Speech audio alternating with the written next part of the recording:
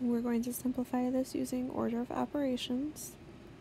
In our first step, we are going to simplify the terms in the parentheses in both the numerator and the denominator.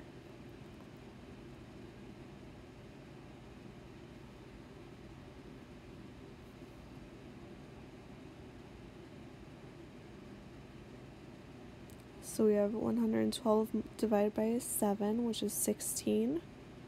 So in our parentheses, we're going to have 16 plus 39, all minus 4.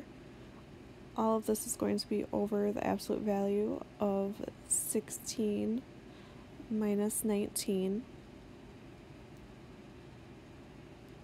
We're going to simplify the terms in the absolute value brackets as well as the parentheses in the numerator. So we have 55 minus 4 all over the absolute value of negative 3. So we have 51 over 3, which we can simplify to 17.